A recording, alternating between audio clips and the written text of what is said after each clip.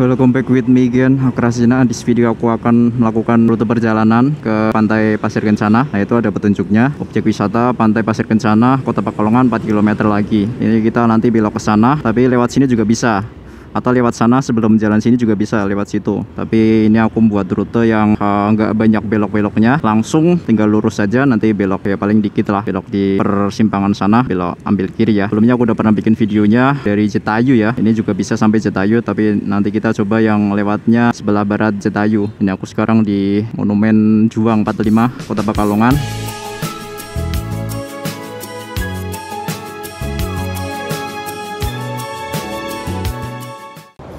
Oke aku start dari Pantura Monumen Juang 45 Ini terserah mau lewat mana Tapi aku lewat jalan yang sini ya. Nah ini kalau kamu dari arah uh, Barat Aku buatkan rute yang jalan yang enggak belok-belok ya. Oke di sini kita rating kiri Nah itu ke Semarang situ. Jalan Pantura. Kita ke arah utara. Di sini ada Bank BNI oke jalannya mulai agak-agak kurang rata. Uh ada apa itu? Rame-rame. Ada penjual buah.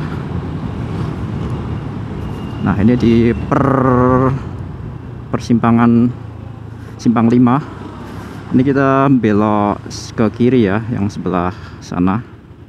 Yang sebelah kiri lurus apa sih namanya? Kalau belok kiri nanti kita balik lagi. Ini kita belok kiri yang lurus. Oke mau ke mana ini pak? Membingungkan sekali anda. Oke ini di simpang 5 mana ini namanya? Pokoknya kalau lurus ke arah Jetayu kalau ke kanan arah Jetayu juga atau ke alun-alun kota Pekalongan. Kalau ke kiri arah Stadion Kota Pekalongan. Nah, ini kita ke kiri namun yang ke arah uh, eh, IAIN ya. Atau Stibik juga bisa.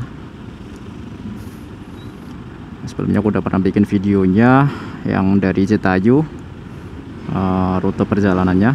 Oke. Oh, tak kira udah hijau, Pak. Oke, green. Kita rating kiri jangan lupa kita ambil yang sebelah sini lurus. Nah sini kita ambil sini. Kita ambil jalan Progo ini namanya. Apakah jalannya masih tergenang banjir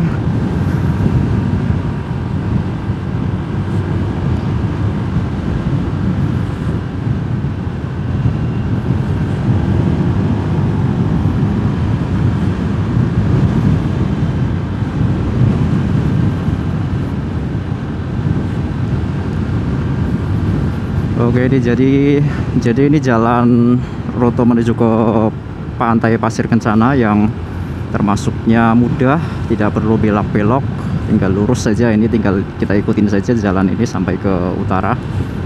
Sampai nanti ketemu di IAIN Wali Songo. IAIN Stein maksudnya. Oh, Wali Songo sih. IAIN Stein. Nah ini di sini ada pertigaan Nah itu ada petunjuknya ke kanan arah Jetayu Oke kita Oke lampu hijau. Nah ini ke arah Jetayu Itu ke alun-alun Jetayu Dan ini kita ke arah uh, Kampus ya. Kampus Ini jalan Tentara pelajar ini kalau nggak salah.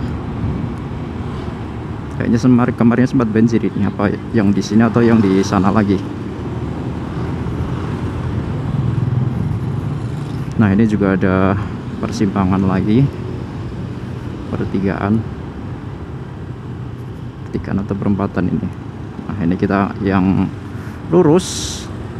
Jalan Kusuma Bangsa lurus. Oke di sini ada pertalit. Enggak ada orangnya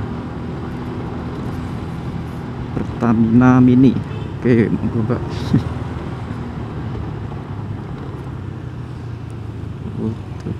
tut tut tut polisi tidur.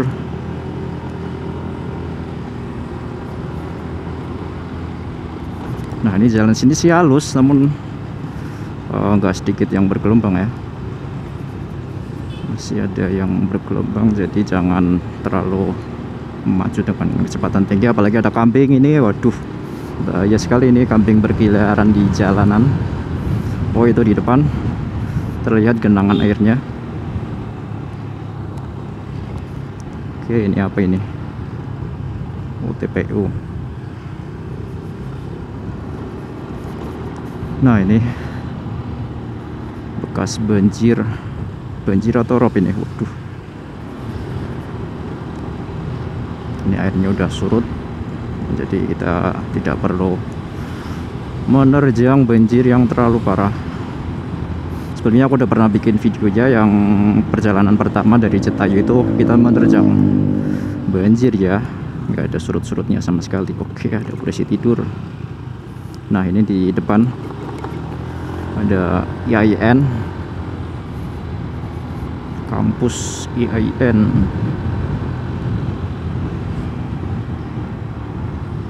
nah ini masih terlihat genangan airnya tapi udah lumayan lah. Tidak terlalu parah seperti kemarin-kemarin. Ini depan depan kampus banjir ini. Oke di sini udah kering.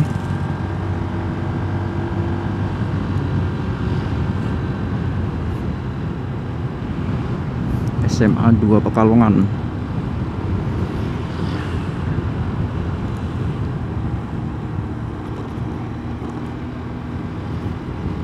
Nah jalan sini cukup lebar ya jadi bus juga enak lewat sini.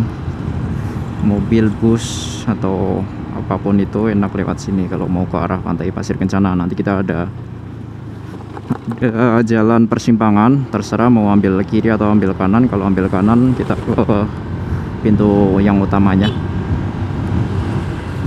Kalau ambil kiri kita lewat yang samping uh, pantai pasir kencananya ya. Waduh oke ini ada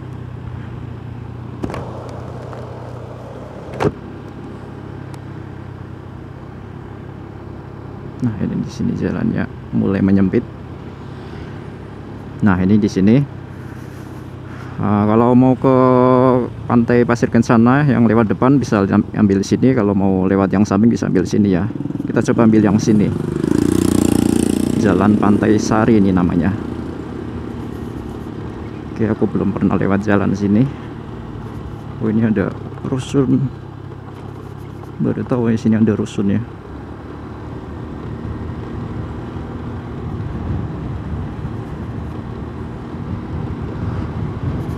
Oke kita lewat jalan yang sebelah samping ya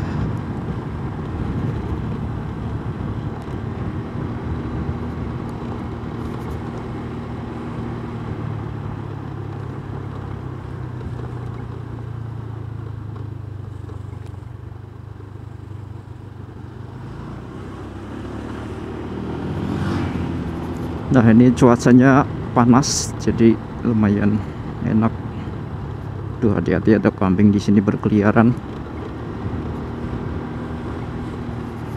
Kemarin-kemarin sempat hujan makanya aku nggak bikin video. Ini mumpung cuaca cerah jadi aku buatkan video perjalanannya.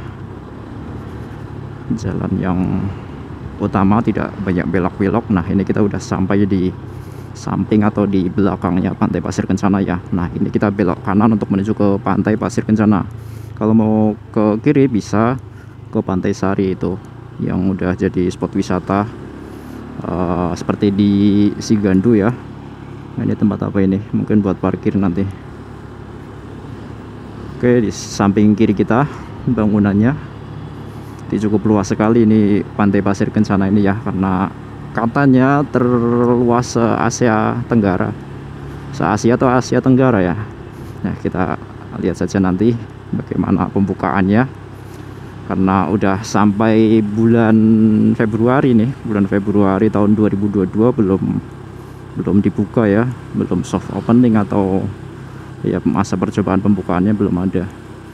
Jam segini masih panas jadi belum ada yang ke sini atau memang udah ada yang ke sini tapi masih sedikit ya kayaknya nah ini. Ini udah dibatasin jadi kita nggak boleh lewat sini.